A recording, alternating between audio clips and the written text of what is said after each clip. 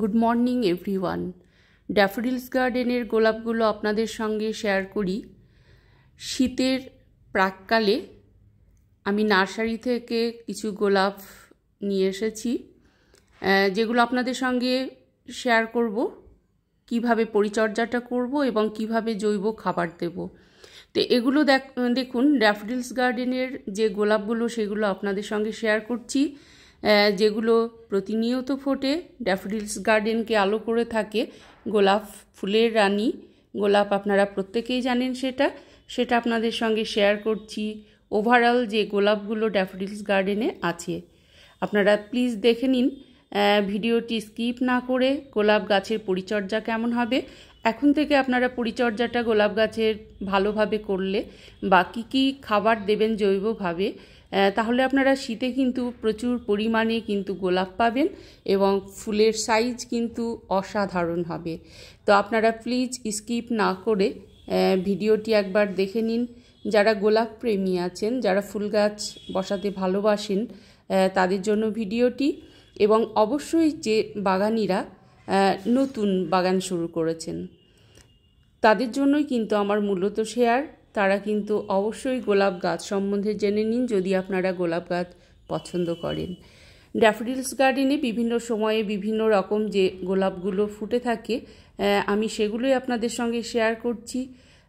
দেখুন, আপনারা হয়তো অনেক বন্ধুরা আছেন যারা নিয়মিত ড্যাফডিলস গার্ডেনের ভিডিও দেখেন, তারা দেখে থাকবেন ড্যাফডিলস গার্ডেনে গোলাপগুলো। ভিউয়ার্স, আমি এসেছি আমার বাড়ির কাছাকাছি এক নার্সারিতে। নার্সারি ভিজিটও হয়ে যাবে এবং শীতের বেশ কিছু গাছও নেওয়া হবে। তোমাদের সঙ্গে শেয়ার করতে থাকি, চলো। দেখা যাক শীতের কি কি গাছ আছে। বিশেষ করে আমার গোলাপ নেওয়ার ভীষণ ইচ্ছে।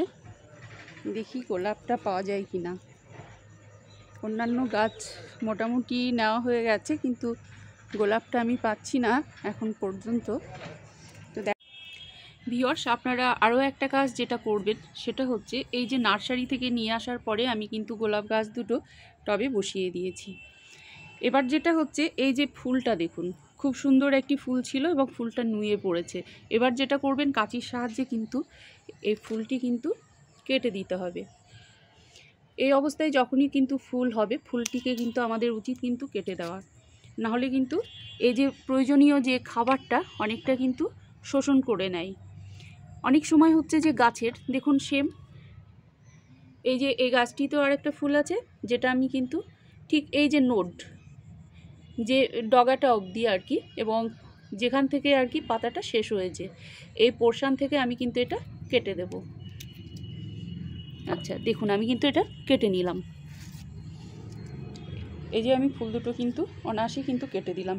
এটা খুব সুন্দর একটি ফুল, গোলাপ, ভীষণ বড় সাইজ এবং দেখতেও কিন্তু অপূর্ব। তো এই ধরনের আপনারা কিন্তু গাছটির হেলথটা বজায় রাখার জন্য যেটা করবেন সেটা হচ্ছে ফুলটা যখন শুকিয়ে আসার মুহূর্তে বা নুয়ে পড়েছে এরকম দেখবেন যখন, তখন কিন্তু আপনারা গাছটি কিন্তু অবশ্যই কিন্তু কেটে দেবেন। ঠিক আছে ভিউয়ার্স আজ এই পর্যন্তই।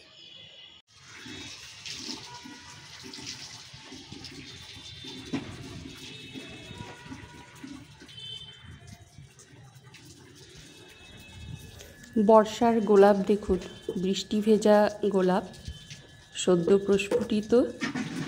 যে গোলাপগুলো আপনাদের সঙ্গে শেয়ার করছি, সহজেই আপনারা বুঝতে পারছেন যে পাতাগুলোই বিন্দু বিন্দু কী সুন্দর দেখাচ্ছে আর কি। জলটা পড়ে, বর্ষার জলটা পড়ে।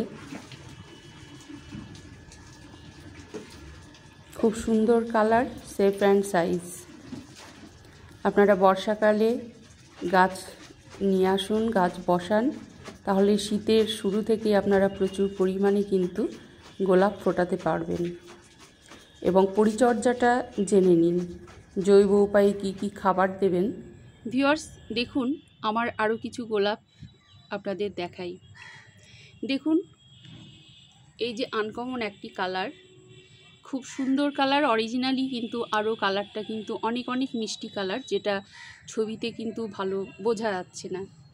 দেখুন আপনারা বুঝতে পারছেন কি না খুব সুন্দর গোলাপের কালারটি অপূর্ব একটি বাই কালার দেখুন আছে একটা কুড়ি আছে।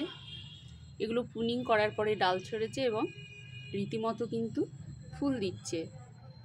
আর একটা আপনাদের খুব সুন্দর একটা আনকমন একটা শেফ অ্যান্ড সাইজ অপূর্ব গোলাপ দেখাই।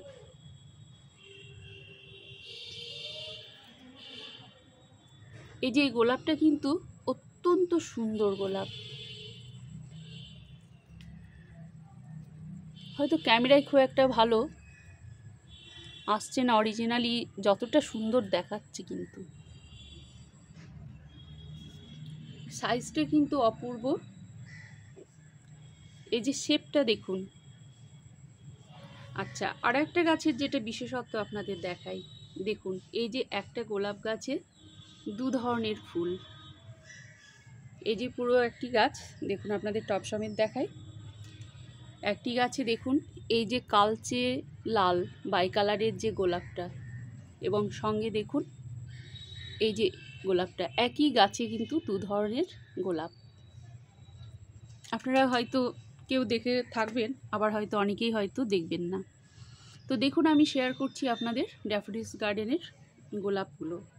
আচ্ছা এই যে গোলাপ গাছ নিয়ে বলছি আমি, দেখুন প্রুনিং এবং ডিপ প্রুনিং পরিচর্যাটা আমি বললাম এবং গোলাপ গাছের মাটি আপনারা কত সহজে তৈরি করতে পারেন। দেখুন, আপনারা প্রথমে নেবেন গার্ডেন সয়েল যেটা গার্ডেন সয়েল বলতে যেটা বোঝায় একদম মাটি।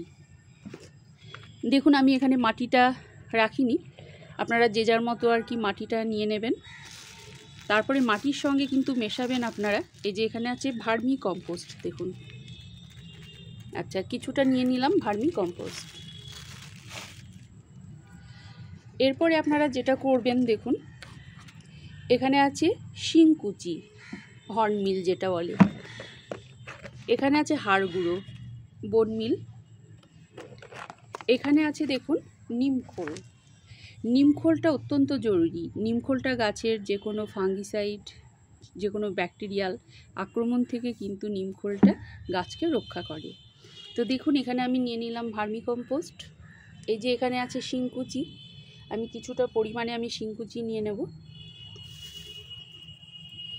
দেখুন, আমি এখানে শিংকুচি কিছুটা নিয়ে নিলাম। এখানে নিচ্ছে আমি হাড় গুঁড়ো এখানে আমি কিছুটা নিয়ে নিচ্ছি নিমখোল আচ্ছা এই যে আমি ধরুন এখানে আমি চারটে উপাদান নিয়ে নিলাম। এখানে আমি নিলাম ভার্মি কম্পোস্ট হাড়ের গুঁড়ো, শিংকুচি এবং নিমখোল আচ্ছা এটা আমি ভালো করে কিন্তু মিশিয়ে নিলাম। এটা কিন্তু আমি একটা টবের জন্য বলছি। আচ্ছা এই যে আমি ভালো করে দেখুন এটা মিশিয়ে নিলাম।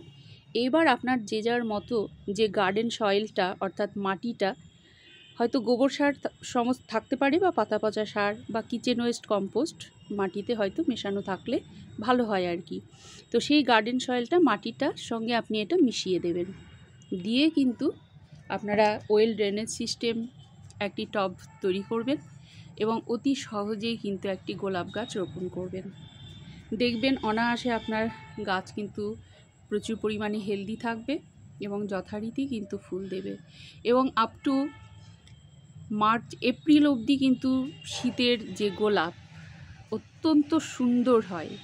শেপ অ্যান্ড সাইজ আমি আপনাদের সঙ্গে আমার ড্যাফোডিলস গার্ডেনের যে গোলাপগুলো আছে, সেগুলো আমি অবশ্যই শেয়ার করতে থাকব। আজকে কিছু শেয়ার করলাম, অবশ্যই শেয়ার করব। দেখুন, এইভাবে আপনারা অত্যন্ত সহজে কিন্তু গোলাপ গাছ তৈরি করতে পারেন এই যে গাছটি দেখুন না, কি সুন্দর বিশেষত্ব হচ্ছে দু ধরনের ফুল একটি গাছে। দেখুন এটার সাইজটা বা শেপটা কত সুন্দর। এবং দেখুন এই যে বাই কালারটা কি মিষ্টি একটি কালার ভিভার্স গোলাপ গাছ সম্পর্কে আপনাদের যদি কোনো রকম প্রশ্ন থাকে, আপনারা কমেন্টের মাধ্যমে লিখবেন এবং আমি রিপ্লাই করার যথাসাধ্য একটা চেষ্টা করব। তো আপনারা গোলাপ গাছের পরিচর্যা ঠিক এভাবে করুন এবং জৈব উপায়ে খাবারটা এভাবে ঠিক দিন যাতে আপনারা শীতকালের প্রথম থেকে খুব ভালোভাবে গোলাপ পেতে পারেন।